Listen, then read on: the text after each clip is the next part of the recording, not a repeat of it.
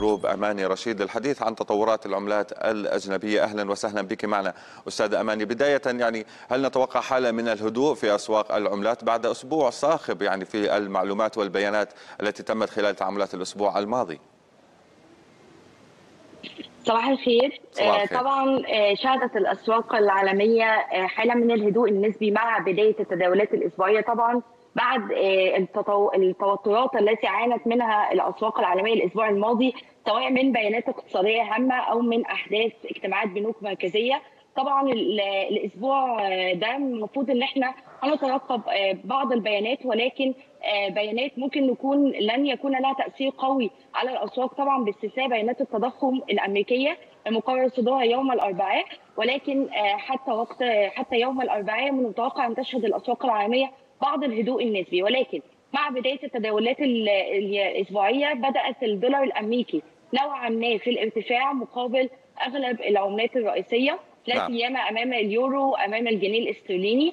وجدنا أنه أمام اليورو اليورو بدأ يتراجع أمام الدولار الأمريكي. يجري تداوله حاليا بالقرب من مستويات ال 1.1550 والاسترليني أيضا بالقرب من مستويات ال 1.14 50 أمام الدولار الأمريكي طبعا لأن وجدنا الأسبوع اللي فات إصرار بنك إنجلترا على الإبقاء على السياسة النقدية التوسعية في الوقت الذي يبدأ فيه الفيدرالي الأمريكي في تشديد السياسة النقدية تباين السياسات النقدية بشكل واضح ما بين إنجلترا وما بين الولايات المتحدة تسبب في زيادة الضغوطات على الجنيه الاسترليني أمام الدولار الأمريكي. نعم، كما لاحظنا بأن مؤشر الدولار وصل إلى أعلى مستوى تقريبا منذ شهرين، هل نتوقع الاستمرار في ارتفاع مؤشر الدولار يعني الذي يقيس تقريبا ست عملات مقابله، يعني في ظل الحديث عن بأن التضخم يعني مؤقت بالعديد من البنوك المركزية العالمية وتحديدا يعني في بريطانيا وفي الولايات المتحدة.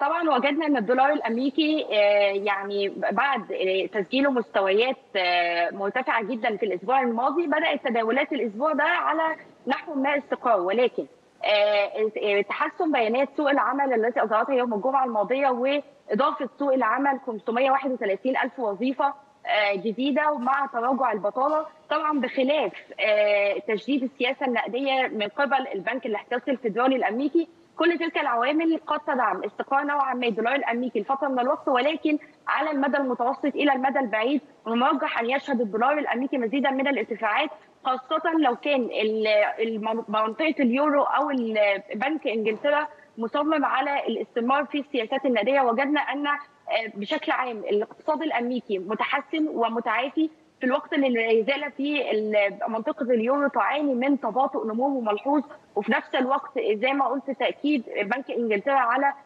الاستمرار في السياسة النقدية التوسعية كل تلك العوامل تدعم استمرار ارتفاع الدولار الأمريكي أمام أغلب العملات الرئيسية واستمرار ارتفاع مؤشر الدولار الفترة المقبلة. نعم. يعني نتحدث أيضا بالمزيد من العملات. لاحظنا أيضا تثبيت لليوان الصيني في مقابل العملات الأخرى. فيما يتعلق بالأسواق الآسيوية هل أيضا هنالك حالة من الهدوء بالرغم من أن قضية إيفرجراند لا تزال تؤثر على الأسواق الآسيوية تحديدا وعلى العملات الآسيوية؟ نعم. البيانات الصينية التي جاءت بالأمس وأظهرت نمو الصادرات بنسبة 27% وأيضا نمو الواردات ده تسبب في هدوء الأسواق نوعا ما حيال تباطؤ نمو ثاني أكبر اقتصاد عالمي في الفترة المقبلة. فالتحسن وزيادة فائض الميزان التجاري وبدء تحسن البيانات الاقتصادية في الصين ساعدت في تهدئة الأسواق نوعا ما بل جعلت أيضا أن بنك الصين لديه عدة أدوات قد يلجأ لها مع نهاية العام مثله مثل البنك الفيدرالي الأمريكي فبالطبع طبعا بالرغم من مشكلة ايفر جراند ولكن الهدوء مع المشكلة دي في الفترة اللي فاتت وفي نفس الوقت استقرار أو تحسن البيانات الاقتصادية نمو الصادرات كل تلك العوامل ساعدت في تهدئة الأسواق وتراجع حالة العزوف عن المخاطر التي سيطرت على الأسواق بعد نعم. البيانات الاقتصادية الصينية. نعم. يعني أستاذ أماني هل برأيك هذا الهدوء في الأسواق أسواق العملات هل سيستفيد منه المعدن الأصفر ارتفاعا؟ لاحظنا ارتفاعات ووصول إلى مستويات جيدة نوعا ما. هل حالة الهدوء يستفيد منها يعني المعدن الأصفر؟ آه بالعكس حالة يعني تحسن شهية المخاطرة بتجعل الأسواق وتجعل المستثمرين يتجهوا للاصول ذات المخاطرة مثل أسواق الأسهم عن الأصول ذات العائد المنخفض مثل الذهب.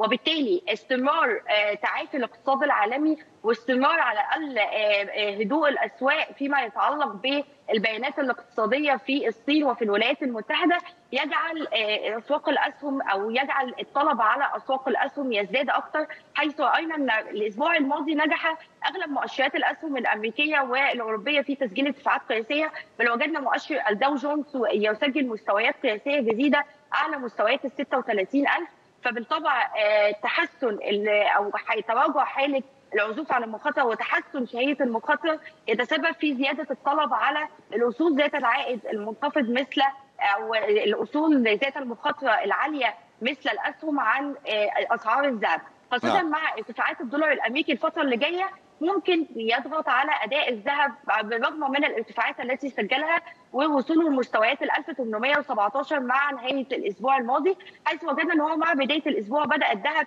يقلص من المكاسب التي حققها ليبدا تداوله بالقرب من مستويات ال 1815 دولار للاونصه. نعم محللة أسواق مالية في إكويتي جروب أماني رشيد كنت معنا من القاهرة شكرا جزيلا